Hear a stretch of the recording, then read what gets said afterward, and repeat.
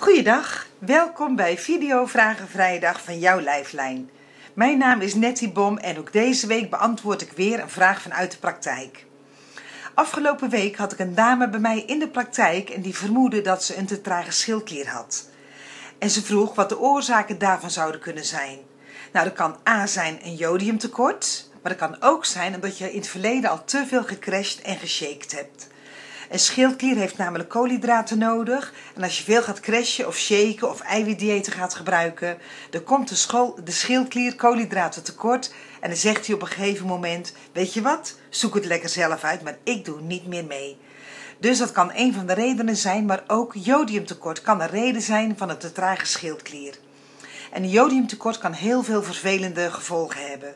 Onder andere een trage schildklier, maar nog veel meer. Deze week ga ik het alleen hebben over een trage schildklier. Anders zit je over een half uur hier nog. En ik weet zeker dat je er niet blij van wordt. Maar ik wil de komende week wil ik steeds de gevolgen met jullie doornemen van een jodiumtekort. Dus deze week gaan we kijken wat de gevolgen zijn van een trage schildklier. Of eigenlijk meer wat de signalen zijn. Nou, ik uh, noem ze even op, want het zijn er een hoop. Dus ik zet even mijn uh, brilletje erbij op.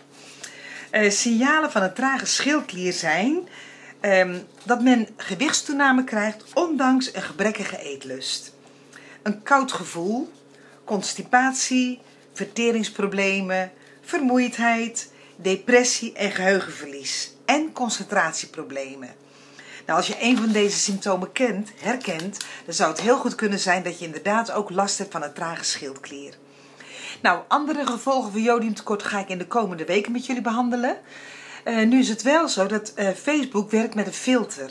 En het kan zijn dat je de ene week mijn filmpjes wel ziet en de andere week niet. Wil je nou zeker weten om de volgende filmpjes iedere week weer te ontvangen? Dan adviseer ik je om even naar de Facebookpagina toe te gaan van jouw lijflijn.